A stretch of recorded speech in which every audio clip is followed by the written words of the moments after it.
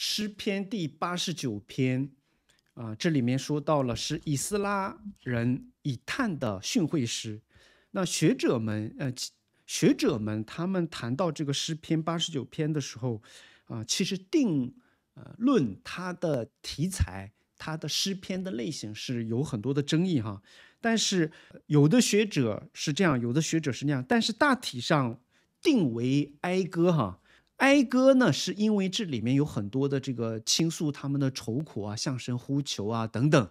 但是我们看到这个小呃小标题里面，希伯来诗里面有这个说明了一些背景哈，以斯拉人以探的训诲诗，训诲诗是强调劝诫。教导的内容哈，所以呢，我们看到，呃，这也不矛盾，也不冲突。为什么呢？这个诗篇里面八十九篇里面包含了赞美诗，赞美上帝的信实啊，赞美神的大能啊、统治啊等等，还有也谈到了这个忏悔哈啊，耶和华，我们受苦，难道你忘记我吗？信靠诗也是也。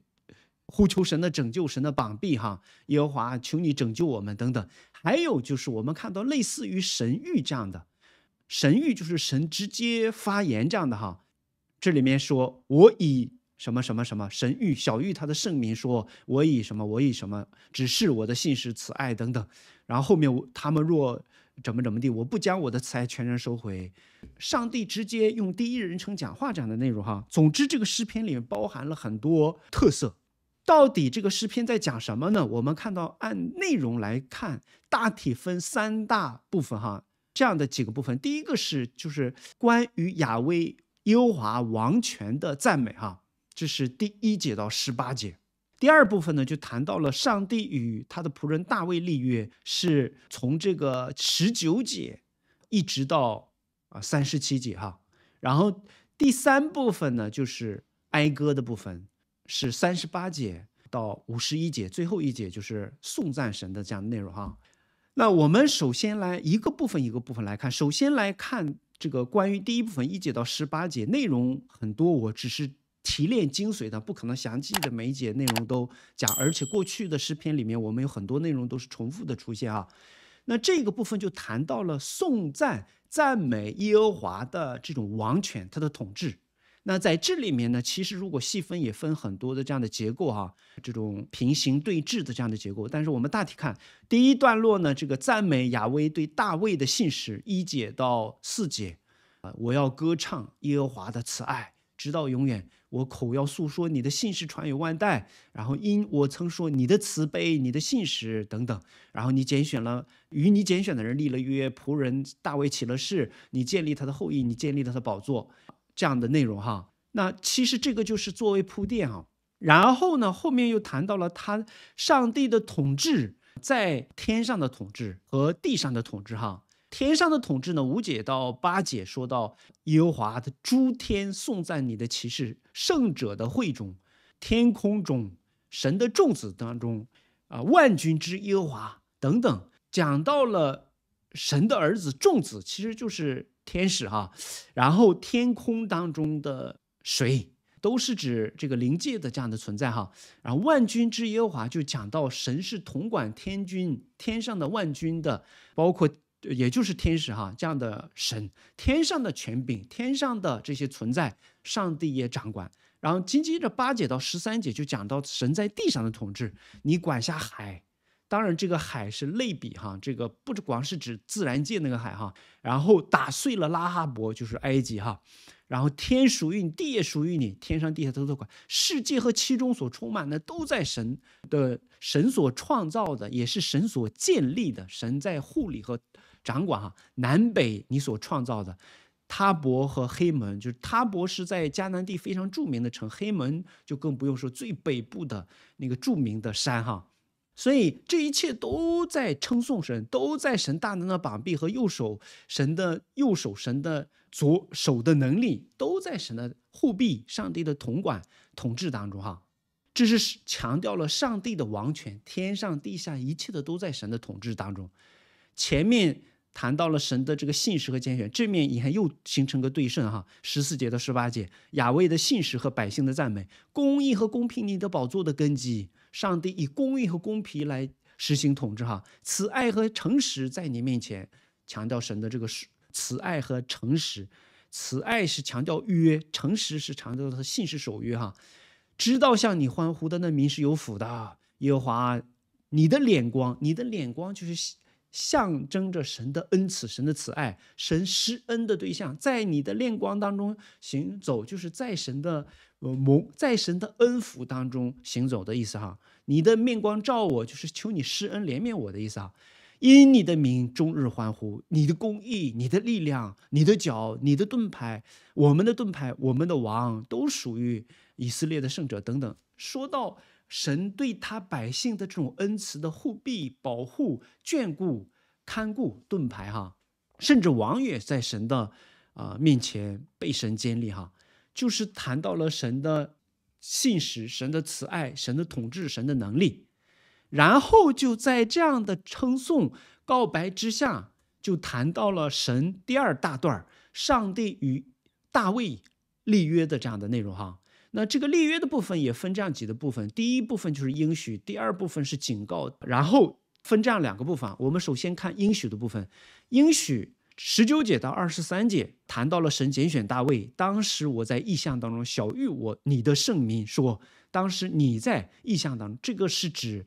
啊，神借着拿单先知向大卫所赐下的应许，我们这个历史背景里面，撒母耳加七章八节到十六节里面内容记载了哈，当时神借着他的仆人先知拿单，就应许赐应许给大卫。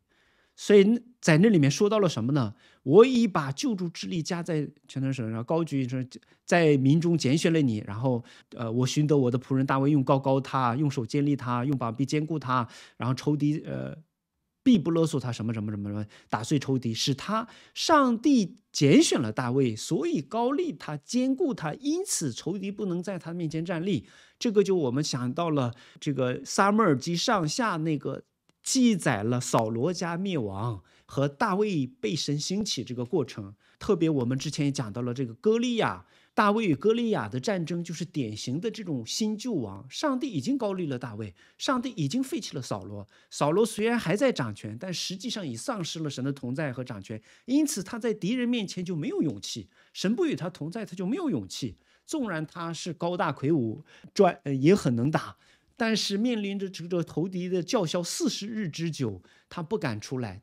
王和百姓都消心消化如水，都惧怕。为什么？征战的勇气，征战的兵器，得胜不在乎人哈，不在乎兵器。就像大卫所告白的，乃是在乎耶和华上帝。那那个非专业的、非专业的这个少年人大卫呢，却不是靠着。铠甲、盾牌和铜戟兵器，乃是靠着耶和华的名，拿着弹弓、甩石器，就把这个歌利亚打倒了，哈，击败了。上帝将他的命，就像大卫所告白的，交在他的手中。这就是一个象征，一个有神同在的，一个敬畏神的人，即便缺乏专业性，即便软弱，当然，虽然是大卫也是年轻，哈，也是在旷野当中打熊、保护羊群，有一定训练，但是比专业的。战士是不够专业的哈，结果神利他，神他与他同在，神就使他能够得胜，在软弱的人口中、婴孩的口中建立他的能力。结果看似专业的、有权有势的、高大魁梧、有专业的装备兵器的扫罗，却神离弃他，他就不得建立。百姓都一样，所以在这里面我们看到神建立了他，神拣立他，神拣选他，神高莫他，神就使他。能够做王，有能力、有智慧，甚至击打他的敌人，兼顾他的地位哈。然后不仅高立大卫做王，而且这里面我们看到说到这种王权呢，不仅透过大卫，而且是掌管普世的。只是我的信实，我的慈爱要与他同在，因我的名，他的脚必被高举。神高举他的脚，脚就是象征着这种权力、王权和征战的能力哈。我要使他的左手。伸到海上，右手伸到河上，他的统治的范围哈。当然，你说这个历史上的实际的大卫，这个应上帝给他应许成就了没有？约旦河东那片领域是被他这个统治到河上。当然，这个河可能是大河，是指那个呃幼发拉底河等等。海上就是这个西边的那个海哈。所以呢，我们看到在历史上是这样：你弥赛亚掌权，后来就大卫的王权延伸到弥赛亚的这个权柄哈，他要称我为你是我的父，是我的神，是我拯救的磐石，我要立他为长子，为世上最高的君王。这个就超越了大卫的王权哈，那个将来做大卫宝座的，又超越局限在以色列王国的那个王权。就是弥赛亚的王权，就是马太福音一章一节里面所说的亚伯拉罕的那个后裔，大卫的那个子孙，就是来做弥赛亚的，在大卫宝座上做王掌权，做全帝王的那那位哈。我要为他存留我的慈爱，直到永远。我要与他立约，必定坚立。我也要使他的后裔存到万代，他的宝座。所以。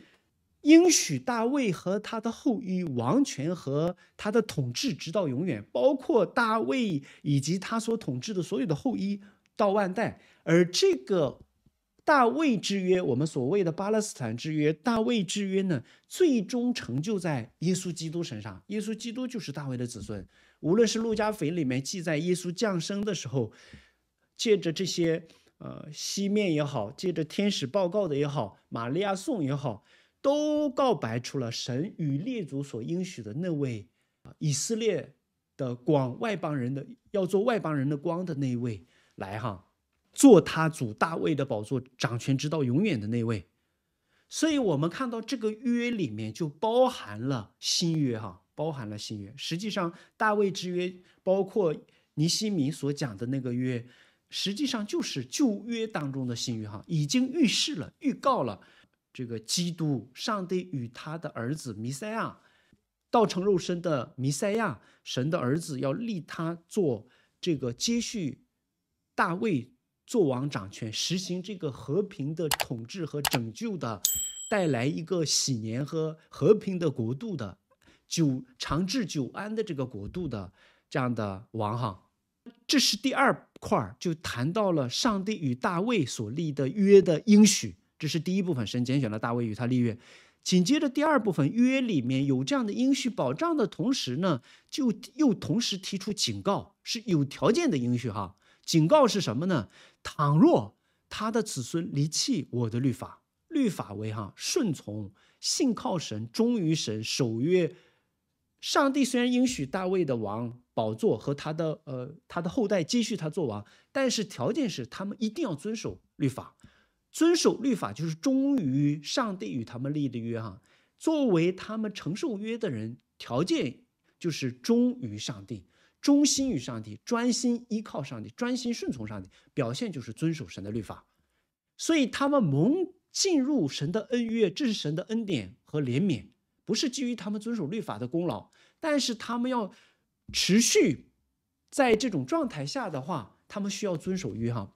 如果他们离弃我的律法，不照我的典章行的，背弃我的律例，不遵守我的诫命，我就要用杖责罚他。说到当他们被约的时候，上帝要用杖责罚他们的过犯，用鞭责罚他们的罪孽。只是呢，上帝的信实应许什么呢？只是我必不将我的慈爱。上帝虽然责罚他们。不会恨他们，以至于像恨其他的仇敌一样。毕竟他所拣选的神所立约的自己的百姓嘛。但是他虽然去按照他的公义去责罚他们的罪恶和过犯，追讨他们，不会因为他是自己的百姓就视而不见他们的罪恶哈。耶和华眼中容不下沙子，断不以有罪的无罪，一定要责罚鞭打他们。但是上帝却不会永远怀怒。是发怒是瞬间的，但是，呃，慈爱是永远的，却不收回他的慈爱，全然收回他的慈爱哈。也就是说，上帝会因着他们的罪会责罚他们，责罚的时候是表现出他的愤怒哈，但是他不会永远全部的收回他的慈爱，也不叫我的信实，因为他已经立约了嘛，永远不离开，永远坚立他的我，因为和大卫立的约的缘故，所以他不会废去信实守约。我也不背弃我的约，也不改变我口中所出的。一次立定了，就永远不废弃。甚至我们看到大卫失败，他的儿子们也有很多有瑕疵和失败的，但是上帝都为他的名持守这个约。我们看到《列王记》上下历代志里面，呃，所看到那个王的谱，犹大南亡国之后，南北分裂之后，犹大南国犹大之所以不被灭，北国是以色列是主前七百二十二年就已经灭掉了哈，被亚述灭掉了。但是大卫王朝呢，始终是一个王朝，持续的延续，就是因为神纪念他与大卫立的约。虽然他们中间也有很多重要的过犯和瑕疵，甚至上帝让。他们被掳巴比伦七十年，但是还是纪念他的约，把他重新带回来，到那个应许之地。为什么？都是因为上帝信实的缘故哈，不离弃我的约，不改变我口中的话，不全然收回我的慈爱，坚守不废弃我的信实。我一次指着圣洁启示，我断不向大卫说谎，他的后裔要存到永远，他的宝座在我面前如日之恒之久。又如月亮永远坚立，如天上恒的。所以这个话大家一定要注意，在这样的应许当中，不是已经超越血统了哈。上帝与他大卫立约，最终这个约透过他的那个儿子耶稣基督来成就，做成了宝座。耶稣基督成为真正实现旧约所有应许，特别是大卫之约、摩西律法的那一位。他是他是那个完美的王，大卫做宝座那个完美的王，因此他的王权是坚立到永远的哈。所以希伯来书的作者称到神的儿子来的时候，你的王权是永永远远的。上帝喜悦你胜过你的同伴，高你高你是超过你的同伴，你的王权是永永远远你的，国度是永远的。只有基督的王，基督的国。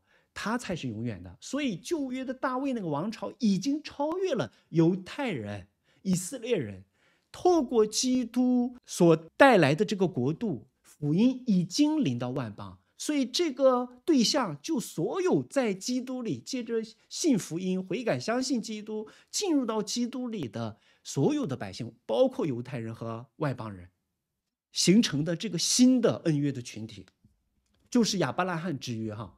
在基督里得以实现，那个最终成就是知道基督在临的时候，所以现在这个应许就超越了犹太人，因此我们就不要狭隘的认为，将来有一天基督会在临的时候，在耶路撒冷要建立一个实际的王国，只统治满了一千年，再进入到什么新天新地哈，那个就已经扭曲了这个圣经的理解。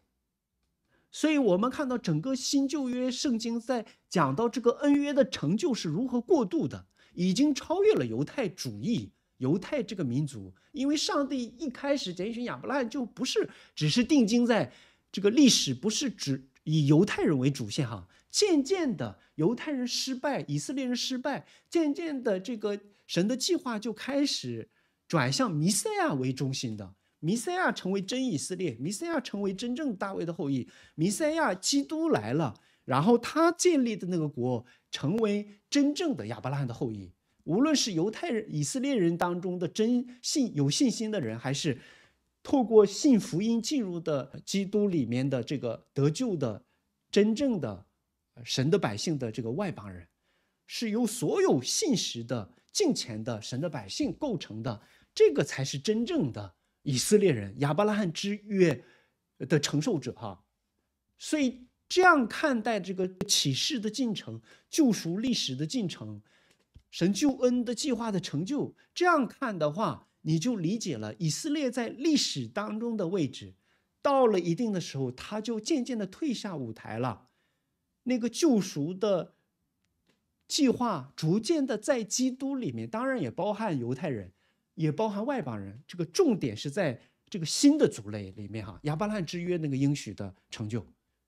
所以在这里面，我们看到神与大卫立的约，他就已经超越了这个犹太人本身哈，以色列民族本身，它里面已经包含了所有真信仰的神拣选的所谓的应许的那个后裔，不是亚伯拉罕肉体的后裔哈。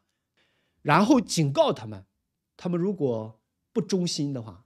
所以可见，上帝立约与亚伯拉罕立，与大卫立约，与他的后裔立约，应许神的慈爱约临到他们，信实临到了他们，但是承受恩约的这个百姓，他们也要守约，忠于这个约。以色列人的历史是失败了，大卫的这个后裔，呃，王做王的这些王们也有很多失败，但是最终成就的那位是基督哈。同时，这个约亚伯大卫之约，基督的新约不是代替旧约哈，废弃旧约。当然，我说的这个旧约不是靠着行律法那个约，而是所有旧约里面已经包含了新约，甚至基督来了已经成全了这个。或者说，它是所有旧约的那个约的最高峰、最完美的形式，哈，包含了在亚伯拉罕之约里面、摩西之约里面，包括这个大卫之约里面、巴勒斯坦之约里面等等，最终是透过基督来，上帝与基督与所有的选民立约，哈。那也就是说，我们今天也在这个约里面，我们因着信，像保罗所说的，成为亚伯拉罕的真后裔、属灵的后裔。借着基督的缘故，因此这个警戒也是给我们的。虽然上帝信实，他永远不废弃我们。之前我们也谈到，基督赐给我们的圣灵，不是基于我们的顺从与否，不离弃我们。基督的宝血，神的信实，上帝透过基督保障了，赐圣灵给我们，永远不离开我们，然后做我们选民的凭据治。证明我们是神的儿子，又在我们里面做保惠师，继续护理、看顾、引导、光照、带领我们，兼顾我们，使我们不至于永远跌倒。哈，兼顾我们，使我们可以忍耐到底，持守信仰到底。但是，即便如此，那么我们也不能轻忽这个约。所以，新约里面有很多的警戒。所以，弟兄姊妹，我们不能把神的信实和恩慈当做放纵和懈怠的借口。既然上帝永远不废弃的约，所以我们就可以这样吧？那就误用了神的话，误用了神的信实，误用了神的慈爱，反而我们要更加谨慎，不枉费他的恩典，越发发奋的、殷勤的去竭力的去爱他，持守他的话，因为他已经赐下这个恩典，已经给我们圣灵了。旧约的百姓，你说，当然旧约里面有圣灵哈，但是它的量做工不同。虽然律法赐下了，但是如果人没有新生命和圣灵的帮助的话，人是没有办法活出明白律法的精髓和活出律法的精髓的哈。那我们新约里，我们已经晓得律法的精髓，我们也领受了圣灵，可以活出律法的这个资源恩典，但是我们却亵渎懈怠的话，这个责任就更大了。希伯来书里面，我们若忽略这莫大的恩典。而这个恩典是旧约很多百姓是没有这个程度的认识到，没有这么丰盛的去经历到的，我们却经历到了，认识到了。如果忽略这么大的恩典，我们岂能陶醉呢？多给的就多要哈，所以我们不能懈怠。我们拿着神的爱，我们神爱我们。有的时候我们说这个爱说的太轻松了，神呢你是这样爱我们，实际上是借着神的爱，在他的面前耍无赖，借在借着神的爱在他的面前。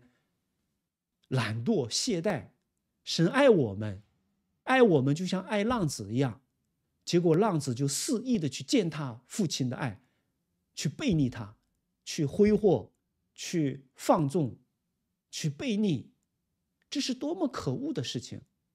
我们总侧重接受、注意到我们的父亲不变的爱，不错，但是。忘了我们这种悖逆对神的爱的践踏是何等大，这种罪恶的邪恶性是不能否定的。虽然那个比喻里面没有把所有福音的真理都揭示出来，但是那些轻忽上帝的爱、明知故犯、亵渎神的爱、践踏践踏神的爱，在神的恩当中放纵情欲的人，他们的罪是更加大的哈。也就是说，我们今天明白福音的基督徒要小心我们的生活。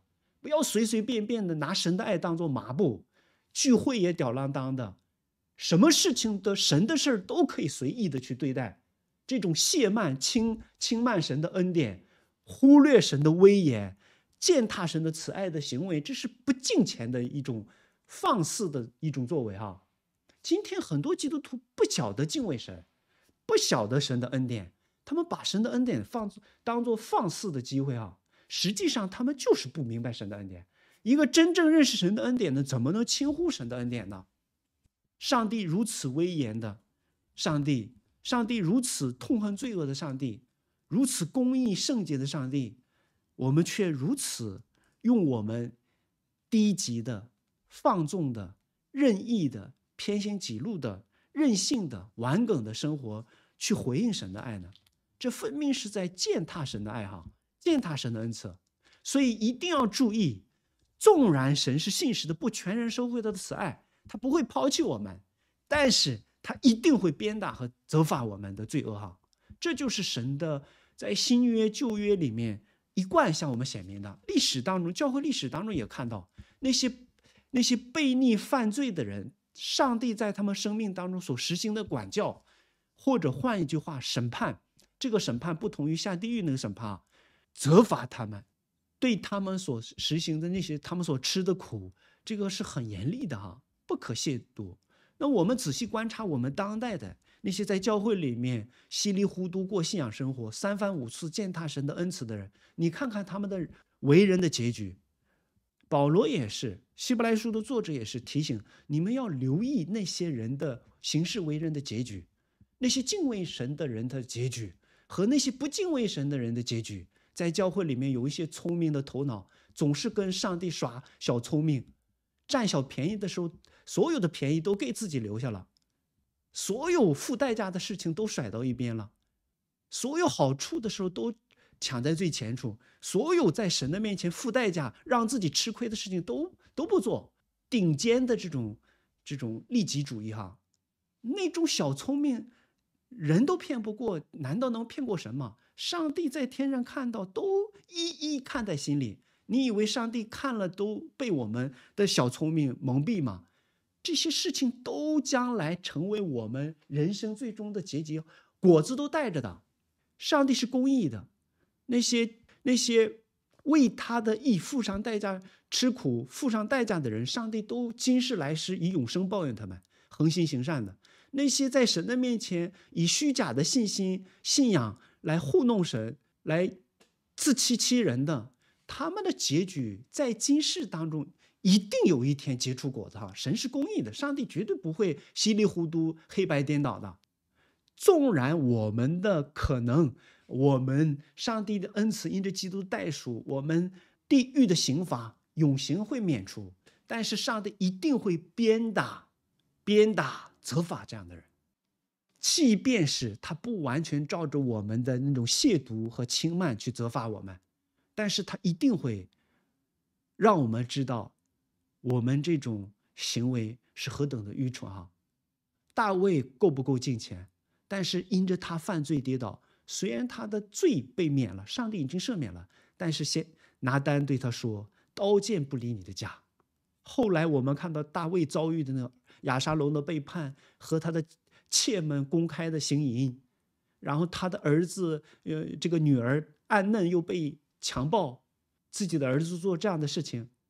然后他的大臣又背叛他，原来，呃，这个约亚吧将军背叛他，甚至他的谋士亚西多夫原来忠心的给他出主意，后来又给他儿子出主意来背叛他，那很多的事情嘛。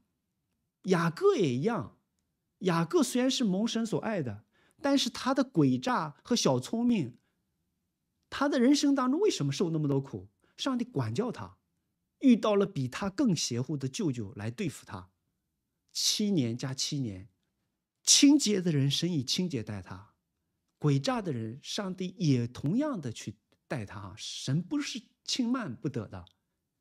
所以今天基督徒他们很多人都不认识神，他们虽然来到教会，但是他们不认识神，不认识神不是因为看你说他不认识神，那为什么他有需要的时候祷告？那个异教徒都会。那是人的本能，认不认识神，关键是在你涉及到你个人利益，在信仰上付代价的时候，你的选择就表现出你的信是真的假的。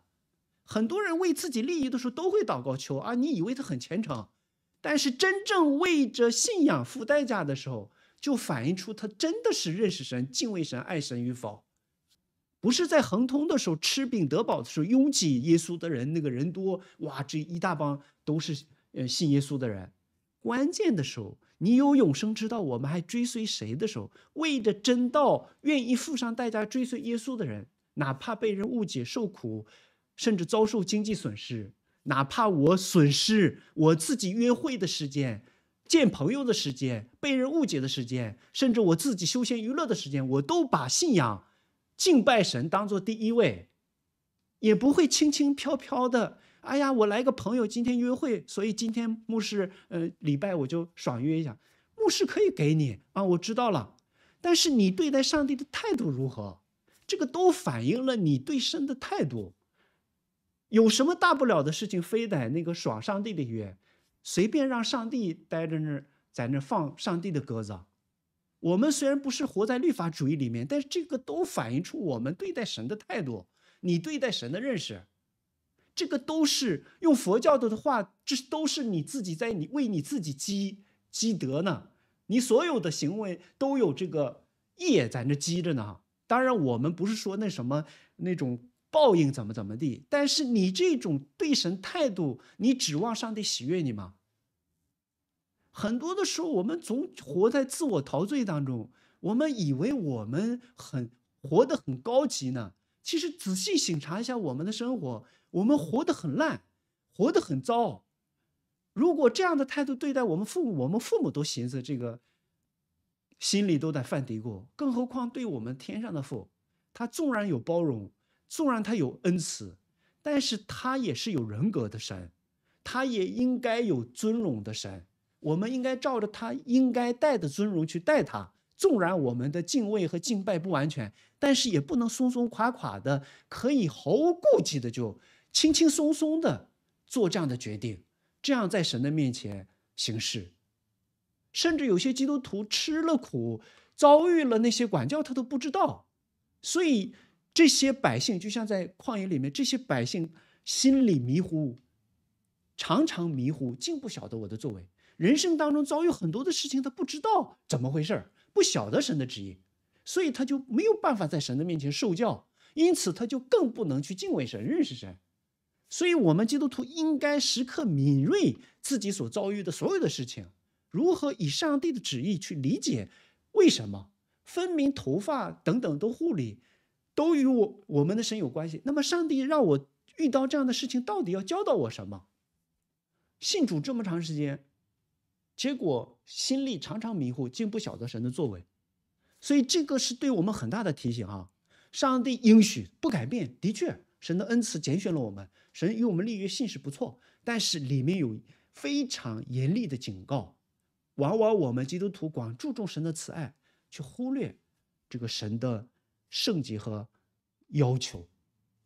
所以这个约里面包含着这样的因素哈。新约里面也有很多可怕的这个警戒啊。有时间我们可以查查哦。我们不要以为新约里面就是稀里糊涂的爱，上帝不讲原则的爱哈。爱不错，他爱我们把。爱子赐给我们了，但是对于这些蒙恩的人，我们看到新约里面有很多，对不对？亚拿尼亚、撒菲拉当场就断气绝死了。为什么？在礼拜的事情上玩玩虚假的。那你说哇，这么严厉？他卖了，他可以不卖，也不必要去随大溜，对不对？假装这个有恩典，然后全卖了，然后奉献的时候又后悔了，奉献了百分之二十，然后他说是百分之百。彼得当时被圣灵充满嘛？当时初代教会面临着教会圣洁这种圣洁性、神的圣洁的礼拜不容玷污。结果问他：“这是全部的吗？”哎，是全部的。其实完全不必要撒，不是，我是百分之二十拿出来奉献了。OK，这个神也悦纳，多少是亮着自己的心，对不对？但他拿着百分之二十呢，他说是全部的，当场就死了。为什么欺哄神？你不是欺哄人，乃是欺哄神了，当场就死掉了。那你说现在为什么这么做？现在如果这样的话，可能死死教会里面死的剩不了几个人了哈。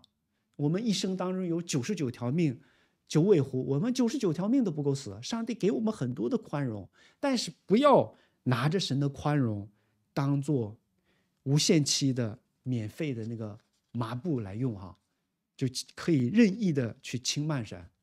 仔细读圣经。一方面，我们要读那些应许的，为什么？我们软弱，我们需要依靠神的恩赐，依靠他，信靠他。用他的应许来建立我们去信靠他，就像本文结束的时候一样。另一方面，我们也要认真读上帝在圣经里面他的命令、他的吩咐、他的应许、他的警戒，包括上帝如何做事。这些做事的背后，就反映了上帝的态度、上帝的立场、神的属性。当上帝这么做事的时候，我们应该对他敬畏才是，对不对？不要想啊，那是别人的事，跟我没关系，我比他强多了，不见得，对不对？所以一定要郑重的去看待上帝在约里面的警戒啊。新约里面也有很多的警戒，犹大书、彼得前书、保罗也说多次，他们都在讲那些人把神的恩当作放纵情欲的机会，他们是无无语的云，不结果子的树，表面是在教会里信，但实际上他们是。灭亡的。若有人爱神，神是所知道；又若有人不爱神，是可咒可诅的。你说保罗怎么讲这样的话？对，这就是使徒的话。一个人不爱神，就是本身就活在咒诅里面；而不爱神，不尽对造物主当尽的本分，违背他被造的目的，离弃他的本分和本位，他就是堕落、背叛、大逆不道，就是应该被咒诅的状态。只不过说的直白而已。若有人不爱神，他就是可咒可诅的；若有人爱神，这是神所知道的。基督徒听了这样的话，你以为啊，耶稣基督已经破除了一切咒诅，跟我没关系？不是披戴义袍称义的位置问你与称义的身份有没有一致的生活？有没有爱神？你说我们都是软弱的，大家都都这样，不要讲。那你就是拿你自己的软弱合理化你现在的光景一样，对不对？上帝已经将基督并他定十字架活化在我们心里。无知的加勒泰人，谁诱惑你们离弃？这个没有借口的。新约里面我们福音已经讲这么清楚了，但是还执意的、刚硬的、悖逆、顽梗的话，上帝一直在含忍着我们，包容着我们。但是包容着不等于认可我们现在的生活啊！睁眼看看，我们不要看别人，你看看自己。我们对待上帝到底以什么样态度对待？礼拜完了就散都散没影了，你们心里到底装着什么？上帝在你们心里到底有几几毛钱的位置？茶余饭后消遣的消费品吗？看着都心痛。我们活在那种黑暗里面，那种可怕的、惹神愤怒的光景当中，我们都不自知。我也不知道你们的教会的传道人怎么教育你们的哈，那个道怎么讲的，信到底怎么信的？你们以前的教会牧师怎么给你们解释的？不知道，真的很恐怖。大家现在活的状态，你到底为什么活着？你不信就不信，OK，我们都在黑暗里，我不知道，不认识神，无所谓。父啊，他们想做的，他们不晓得。但是另一方面，我们蒙了福音的光照。然后有这样福音的宣讲，我也不知道你们现在在不在听哈。竟然以这样的态度对待上帝，这个是很可怕的哈，很可怕的。所以前面我们现在讲第二部分，第三部分就是哀歌。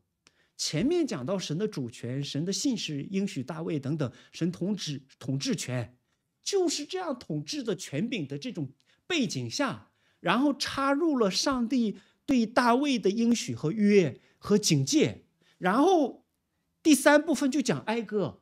哀歌是什么呢？你忘记了我们吗？你呃恼怒我们的受膏者，丢弃我丢弃他们，你与仆人的立约怎么违背啊？等等，说明现在他们正处在神的审判和愤怒当中。这个审判愤怒包含了仇敌欺压我们、掳掠我们，把我们交在仇敌，高举我们的仇敌。那个前面讲到神的恩慈、神的信使、神的统治，正好作为神立约和审判的背景。那个神他信使，他拣选了大卫，他恩慈，他容忍他们，不废弃他们的约，但是又必责罚他们，照着他们过犯责罚他们。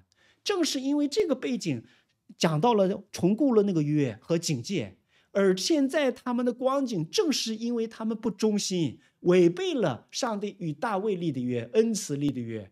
正是因为这个信使，上帝在责罚审判他们，照着那个约来，因为他们被约了嘛，所以审判他们。审判的目责罚的目的是让他们悔悔改嘛。所以现在他在诉苦，前半部分诉苦，你恼恨我们的受膏者，丢弃他，厌恶了我们，与不利于他的冠冕，践踏在地，毁了那么栅栏，栅栏就是保护嘛。然后你使他的保障变荒场，所有的军事力量都无力了，所有人为的准备都无力了，被仇敌掳掠嘛。过路的人抢夺他，邻邦的羞辱他，什么等等的，然后他的光辉也窒息，他的宝座也推倒在地上，减少他青年人的日子，使又使他羞辱。这是描述了他们现在的痛苦。为什么遭遇这样痛苦？前面其实已经解释了，因为上帝立约了，他们背约，他们不忠心，所以遭遇这些。然后紧接着下半部分。求问和祷告，耶和华，这要到几时呢？你要将我们隐藏在，将自己隐藏到永远吗？不向我们施恩吗？前面说脸面行在我的脸面的光中，在神的恩慈中生活。现在向向他们隐藏了，为什么？都是痛苦吗？你的愤怒如火焚烧，到要到几时呢？求你开始求了，想念我的时候何等短少，创造的世人时呢？就是谈到自己生命的卑微和嗯短少。谁能长活免死呢？强调自己的卑微。主啊，四十九节开始祷告。你从前凭你的信实向大卫启示，要施恩慈爱，在哪里呢？主啊，求你纪念仆人所受的羞辱。意思就是开始悔改了哈。前面言外之意，我们背了约，我们没有忠信，所以你这样责罚我们，刑罚我们恶。主啊，求你纪念你的信实和约，悔改，求你来除去我们的羞辱。耶和华，你的仇敌用这羞辱羞辱了你的仆人，羞辱了你受膏者的教宗等等。原来是荣耀的百姓，荣耀的王，荣耀的国民，但是如今却遭受那些不敬畏神的、未受割礼的外邦人的掳掠和羞辱。这是对他们最严厉的这种管教哈责罚，因为他们不守约的缘故。虽然这个诗篇的结局没有。明确的说到结果，但是五十二节以颂赞为结束，耶和华是应当称颂的，直到永远。阿门阿门。为什么？前面说到了神的信实和公义，神的慈爱和诚实、信实，然后他的公义和公平，然后又讲到他立约，又讲到他警戒，然后又讲到他责罚他的百姓，又讲到他们的悔改。虽然结果没怎么样，现在光景还没改变，但是诗人这样祷告的时候，他。最后，神呐，你是应当称颂的。为什么？你造了我们，你拣选了我们，你向我们施了慈爱，你责罚了我们，都是因为你的诚实、你的正直、你的公义、你的信实、你的慈爱。如果不是慈爱的话，我们早就灭亡了；如果不是你的公义和信实的话，我们也不会遭遇这苦。因为我们遭遇这样的责罚是应当的，因为我们背了约嘛。这就是悔改者应该有的态度。就像我们学要义的时候，他们不只是专注于求神除去责罚本身，他们乃是求主使自己回转归向上帝，提升自己的思想与神的思想一致。不只是解决罪恶的刑罚的果子，罪的刑罚，罪的果子就是责罚、刑审判嘛，还要悔改罪。所以他觉得上帝这样审判责罚我们是应该的，我配受这样的。因为他深深的意识到了自己罪悔改的态度，对不对？所以他在受这样的责罚的时候，他就称颂神，称颂神，歌颂神的圣洁、公义、主权、信实、恩慈，甚至责罚，直到永远。阿门，阿门。上帝对恶人实行审判，对他的百姓实行责罚的时候。其实也在彰显自己的荣耀啊，不只是实行拯救、赐福的时候荣耀，彰显他的恩慈。其实他的责罚里面也有恩慈、公义，为了纠正他的百姓，除去他们里面的杂质和刚硬和悖逆。今天，作为你我，我们敞开教会中文部的所有的弟兄姐妹，我盼望大家不要硬着心、硬着景象背逆神。好好的为自己悔改，你的人生、你的梦想固然重要，但是一个离弃神的人生是被咒诅的人生，一个不敬畏神的野心和梦想，你的人不蒙神喜悦，你所有的筹算都不蒙神喜悦啊！所以我之前也跟大家说，你可以努力筹算，年轻人要有梦想，千万别那个消极引擎，但是引擎一定要在神的里面引擎，带着对神的敬畏和爱的同时，里面去引擎，让你的人生是在神的祝福里面，在蒙神喜悦的里面去奋斗，不然的话，就跟无神论者跟神没有关系的那些人奋斗一样，纵然在人看来你可能成功了。你可能成绩好了，考到好的大学毕业了，找到好的单位，就了好的业，创业都成功了，成家立业了，经济也富足了，别人尊敬了。但是结局怎么样？一个不敬畏神的人，他的草，他的生命就是草，他的荣耀成就都是花，草必枯干，花必凋谢。这个智慧我们一定要铭记在心里，不要让我们成为草的人生，不要让我们的荣耀成就成为花一样的荣耀。真正成为一个敬畏神，在基督里面过智慧的人生，所以你就知道你的人生的经历那个配重优先次序要什么可以忽略，什么不可以忽略，什么可以让步，什么不可以让步。一个不敬畏神的人，他的人生是悲惨的，他不可能有真正的幸福啊。